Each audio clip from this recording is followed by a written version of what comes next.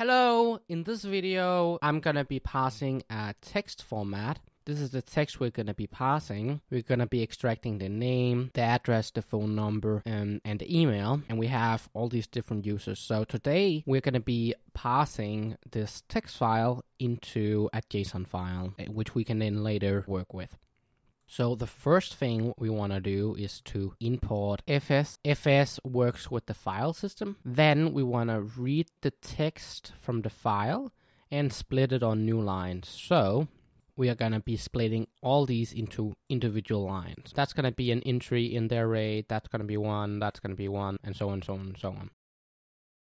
Reading the file synchronously. We could have done all this asynchronously. So I'm reading the file users.txt txt, converting it to a string and splitting it on new line. The next thing we have to do is make a variable where we can store all our parsed users. Then we need a loop. We need to loop through all of the lines. Instead of just going through each line, we are actually jumping six each time because one, two, three, four, five, six. So that means that the first time we're going to go in the loop, we are looking at all these lines. The next time, we're going through them here and here.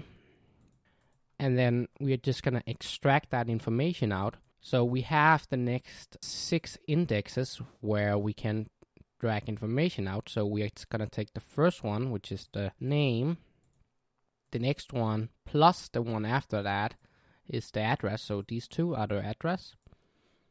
This is the phone number. So that's the phone number. And the email address, which is the last one. And then we have an empty line.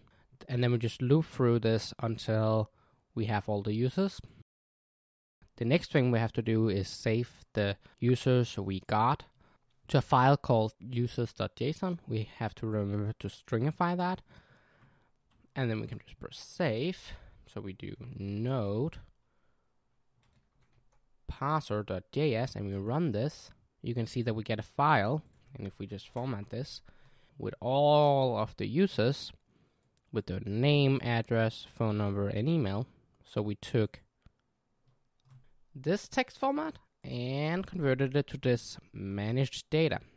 Okay, so there's pretty much an unlimited way this data can be structured in a file like this. But it's just to show the general concept of working with text data and converting it into a managed format. There is endless possibilities that this data could have been structured. This is just one way, but I hope you saw the general principle that I used to read in the file and parse it.